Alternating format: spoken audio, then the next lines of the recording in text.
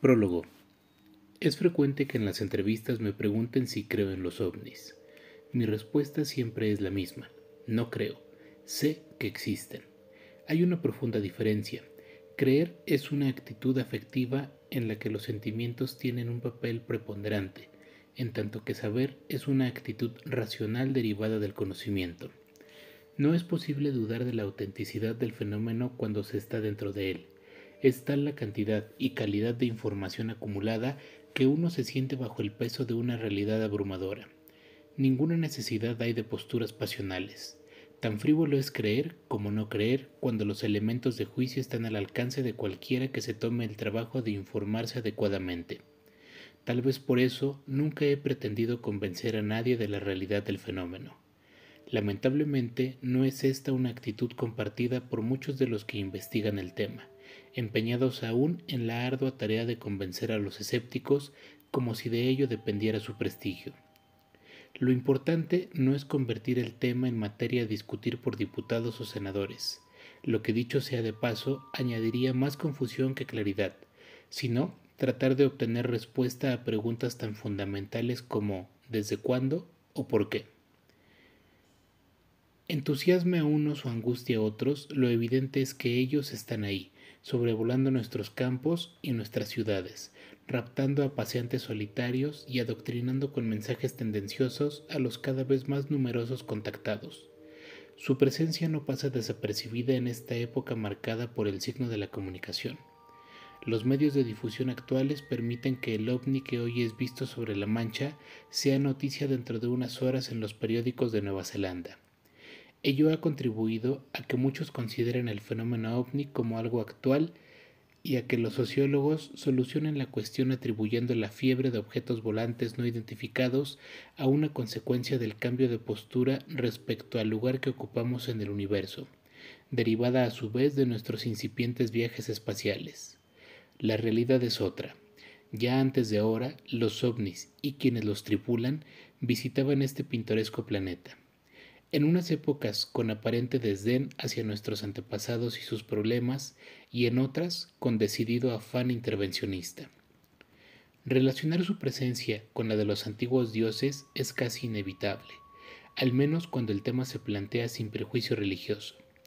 Ha pasado demasiado tiempo y demasiadas cosas para que Yahvé y otros como él puedan seguir siendo considerados como dioses. Su personalidad intolerante y vengativa en modo alguno puede conciliarse con el concepto de un Dios, así, con mayúsculas, creador del universo y responsable del orden natural. Solo un demente narcisista puede explicar que el hombre admita como lógico el comportamiento de un Dios que presentándose a sí mismo como omnipotente, entre a tomar parte en los intrascendentes avalares de unos cualquiera de los pueblos que habitan en el planeta. Solo a circunstancias puede atribuirse que ese experimento local haya superado los límites de lo folclórico. Otros dioses llevaron a cabo la misma experiencia adoctrinadora con otros pueblos sin haber tenido la misma suerte. La pretenciosa Biblia es en realidad poco más que una crónica tribal elevada a la categoría del libro de los libros, por la estúltica de los hombres. Cuando se prescinde de los condicionamientos adquiridos a través de la tradición o de la educación y se contemplan los hechos desnudos, ni Yahvé ni cualquier otro de los dioses del pasado resiste un juicio medianamente crítico. Ello obliga a buscar una interpretación diferente de esos hechos, interpretación en la que encaja perfectamente lo que ya sabemos del fenómeno ovni. Lo menos importante es la naturaleza del carro de Elías o de la nube de Yahvé lo que de verdad interesa es analizar la conducta de esos viejos dioses y obtener de ese análisis las oportunas enseñanzas para no volver a caer en la misma actitud servil y pacata de nuestros antepasados. Si hay alguien capaz de realizar esa tarea con lucidez y conocimiento, ese es Salvador Freixedo. Sus libros anteriores han ido preparando el terreno para este, a mi juicio, una de sus mejores obras en el que se valoran minuciosamente cada uno de los aspectos de la relación entre Yahvé y el pueblo judío, relación que tantas y tan funestas consecuencias ha tenido para los hombres de los dos últimos milenios. Jiménez del Oso. Introducción. Lector,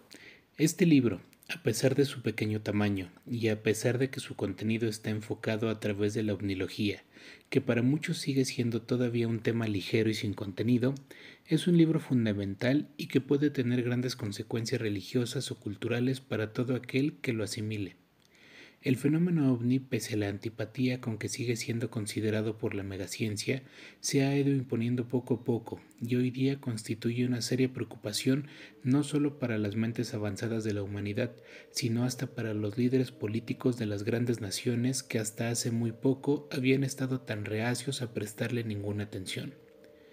Desgraciadamente, muchas de las cosas que se publican sobre los ovnis, aun por autores que gozan de gran fama y en editoriales serias, pertenecen a una etapa inicial o por lo menos poco evolucionada en el estudio del fenómeno.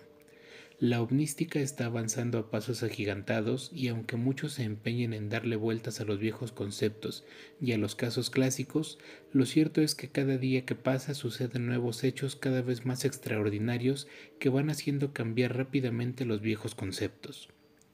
En este libro, al igual que en otros míos, no pierdo tiempo en satisfacer las dudas de los eternos dubitantes, que todavía están esperando a ver qué dice la ciencia. Creo que van a tener que seguir esperando por un buen tiempo, porque la ciencia, mientras siga utilizando con el fenómeno ovni los mismos métodos de investigación que ha utilizado con tanto éxito para descubrir las leyes de la naturaleza, estará cada vez más perdida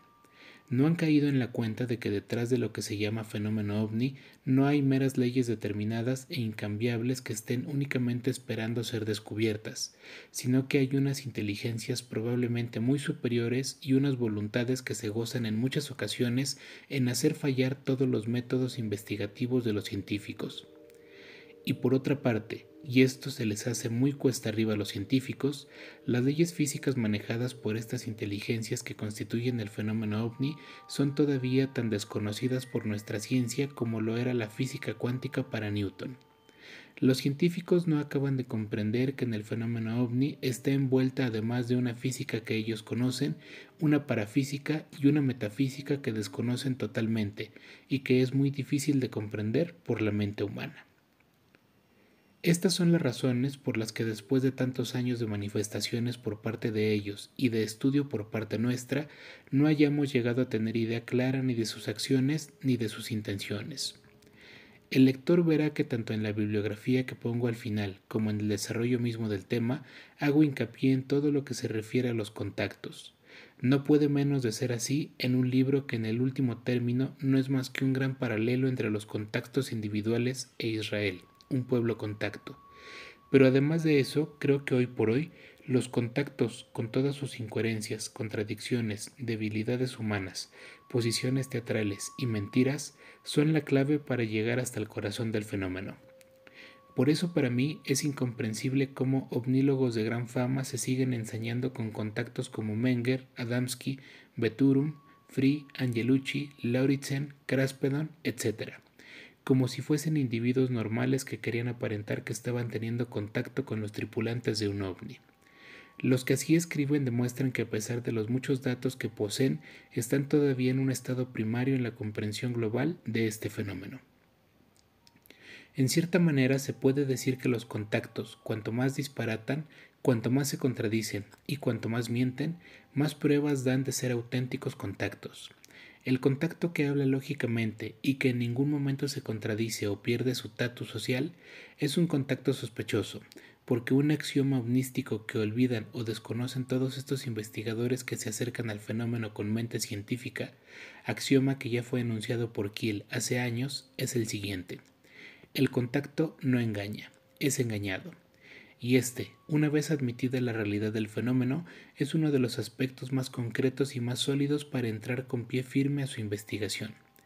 El impacto que tiene en el cuerpo y en la mente de los llamados contactos. Cuando comenzaron a descubrirse las contradicciones, mentiras, interés pecuniario y demás fallas humanas en las que ordinariamente incurren los contactos, era totalmente lógico que los investigadores rechazaran su testimonio y buscasen otras maneras de entrar al fenómeno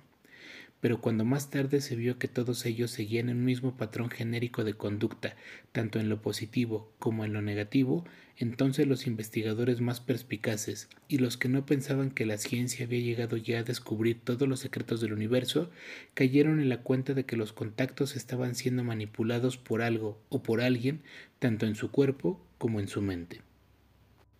Y por lo tanto, los contactos eran el punto de conexión más directo e inmediato que teníamos con las misteriosas inteligencias que manejan el fenómeno ovni. Todos los cambios fisiológicos y mentales que de ordinario vemos en los contactos, y suelen ser muchos,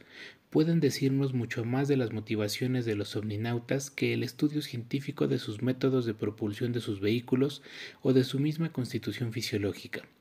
Cuando el hombre, y no la materia o los instrumentos, es el recipiente directo de las acciones de los omninautas, tenemos una mente que, aunque no tan poderosa como la de ellos, es por lo menos capaz de enjuiciar, aunque solo sea parcialmente, las acciones y las motivaciones de estos misteriosos visitantes, y esto es en cierta manera lo que más nos interesa de todo el fenómeno ovni. Otra cosa que no suelen tener en cuenta muchos de los investigadores, y esta es una conclusión a la que hemos llegado después de conocer muchos hechos, es que estas inteligencias positivamente evitan el que tengamos una idea clara de lo que ellas son y de lo que quieren de nosotros, y para ello actúan de una manera errática e ilógica para nuestra mente, y hacen actuar así a aquellos con los que se ponen en contacto. El resultado de todo es que no acabemos de saber a ciencia cierta de qué se trata sin embargo, hay que reconocer, como ya dije, que desde el año 1947 hasta hoy hemos avanzado grandemente y hoy ya no somos inducidos tan fácilmente al error como lo éramos hace una o dos décadas. Este libro es una prueba de los grandes avances que hemos hecho en la comprensión profunda del fenómeno y de las grandes deducciones a que vamos llegando gracias a la observación y a la reflexión en torno a los muchos casos de contacto que cada vez con mayor abundancia van saliendo a la luz pública. Lo que aquí se afirma de Yahvé y del judaísmo se puede aplicar sin excepción a todas las grandes religiones, y creo que también a las pequeñas y a las innumerables sectas a través de las cuales la humanidad busca la primera causa. Reconozco que el libro es audaz, pues tiende a desmitificar algo que millones y millones de seres humanos han considerado y siguen considerando como sagrado. Pero estamos en el final de una era, y la humanidad tiene que prepararse con ideas totalmente nuevas para enfrentar los nuevos desafíos que le esperan en un plazo cercano. Y una de las ideas fundamentales que tienen que descartar por obsoleta y hasta perjudicial es la infantil percepción de Dios están haciendo en la mente de los hombres una nueva idea de Dios, que en vez de ser un mal gobernante inmediato de este desordenado planeta, es la energía poderosa, sabia, bella y omnipresente que da vida a todo y que lo mismo mueve las gigantescas espirales de las galaxias que se nos muestra en el encendido terciopelo de una orquídea. Pero a esa idea de Dios no llegaremos si primero no nos liberamos de los dioses hechos a nuestra imagen y semejanza.